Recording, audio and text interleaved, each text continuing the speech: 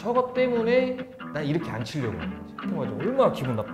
맞아요. 다 코앞에 와가지고 막아버리면은 그래가지고 이제 얄밉게. 상대방한테 이런 투뱅크 줘버리고 막 이러면 속상하죠. 그래서 이제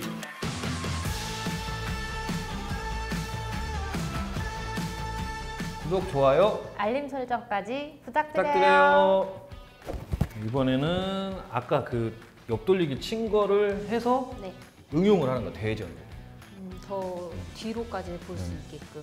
세게 치다 보니까 키스 네. 타이밍이 있는데 이번에는 이제 어떻게 해야 되냐면 기울기 세 칸일 때 아까 여기로 온다고 했잖아요. 네.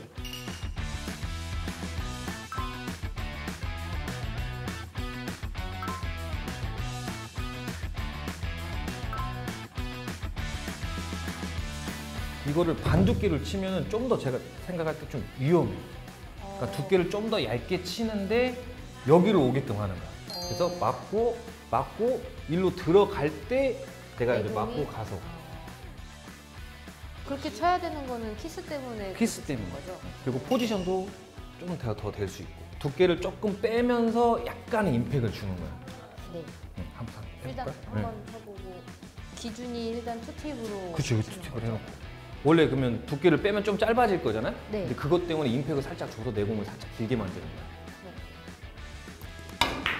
이렇게, 이런 느낌이야, 이런 느낌. 그럼 자연스럽게 이렇게 키스 빠지고, 오 그러네요, 진짜. 네, 좀 150이, 타이밍이- 음, 네. 20이 이렇게 올라와서 지금 이제 이게 테이블이 내가 봤을 때 약간 길어, 길어서 그러고. 그러니까 좀 더 세게 쳐도 네. 키스 타이밍 완벽하게 뺄 수 있는 거야. 그리고 나서 포지션까지 되는 거야. 이게 왜 그러냐면은 또 대회전을 돌아야 되는데 네. 아까 같은 만약에 반 두께로 치면 곡구가 또 날 수도 있잖아요. 맞아요. 네. 배열상 당점을 살짝 돼. 아. 근데 두께를 빼서 조금 더 임팩을 줘, 놓- 줘놓는 거야. 약간 내공을 살짝 길게 길어지게끔 만들기 위해서. 자, 이렇게 되면 완벽하게 키스 빠지고, 음, 아까보다 곡구가. 그렇죠. 좀 곡구도 안. 나고 이제 이게 아. 연습이 되면 좀 더 와서 포지션도 좀 할 수 있고. 아 이게 조금 힘이 음. 들어가서. 근데 이렇게 서도 괜찮잖아, 솔직히. 이렇게 또 앞돌리기를 또 쳐도 되는 형태니까. 자, 그리고 이제 이게 3포인트가 넘어갔어. 이 20이 이렇게 3포인트가 넘어갔을 때는 네. 편하게 쳐도 돼요. 기울기에 따라서 만약에 세 칸이면 네. 두께를 무조건 하나를 빼는 거예요. 어 그럼 반 두께보다 그쵸, 좀더 그쵸. 얇은 두께를 예, 예. 치는데 예. 임팩트를 살짝 살려서. 치는. 예. 근데 이제 만약에 기울기가 이렇게 두 칸이 돼. 네. 자, 그때는 이제 반 두께를 쳐야 돼. 반 두께를 치면서 그럼 이것도 똑같이 임팩을 주는. 거예요? 그렇죠. 그리고 나서 내 공을 어차피 길, 약간 길어지게끔 만들어야 돼.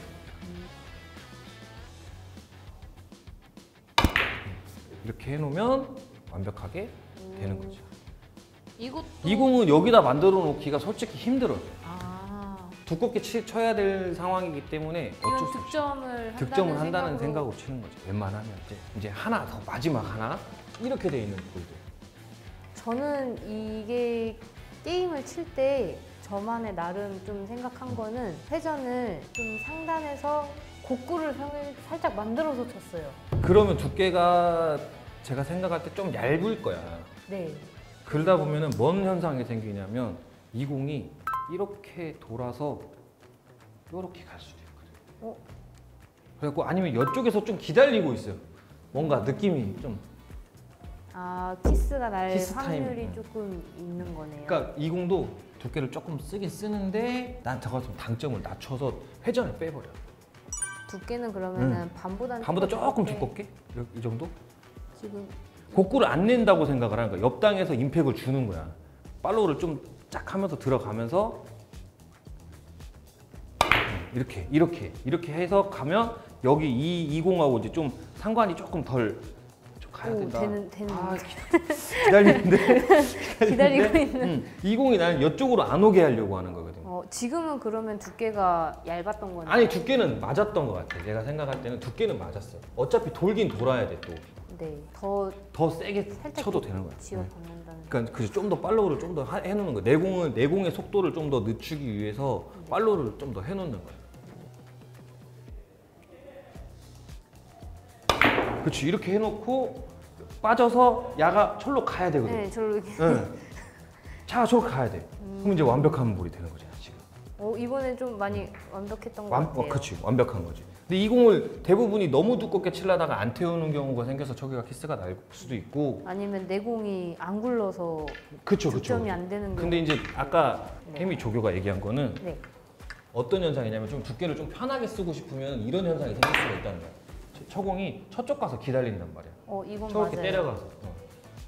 저것 때문에 난 이렇게 안 치려고 하는 거지 음. 딱 저렇게 맞으면 얼마나 기분 나빠 맞아요. 다 코앞에 와가지고 막아버리면은 그래가지고 이제 얄밉게. 상대방한테 이런 투뱅크 줘버리고 막 이러면 속상하잖아요. 그래서 이제 내가 왜 회전을 빼라고 하냐면 일족구가 회전을 덜 먹어야 되거든. 이 상황에서 같이 여기로 돌더라도 내공에 저 일족구가 회전을 덜 먹어야 여기서 이렇게 안 내려가고 이렇게 내려가질 거야. 뭘 너무- 좀 너무- 너무 두- 편안하게 응, 치고 너무. 싶어서 그렇게 쳐왔던 건데 키스 나는 거는 생각을 잘 안 했던 응. 것 같아요.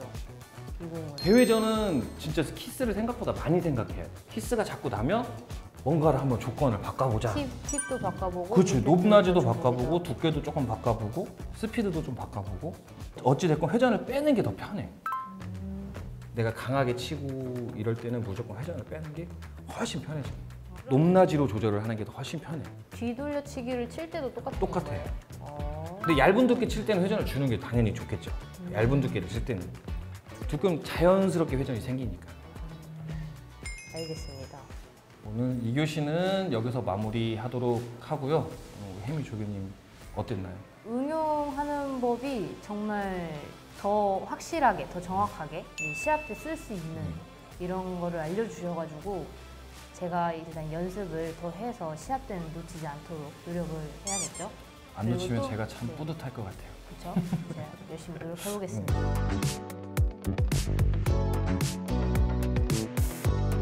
저 우리 학과, 학과장님의 그 벤치 타임 때 치셨던 공을 한번 복습하는 시간을 한번 갖도록 해보겠습니다. 네. 뭐 한번 물어보고 오셨다고. 아, 제 학과장님한테 확실하게 제가 잔소리를 들었죠.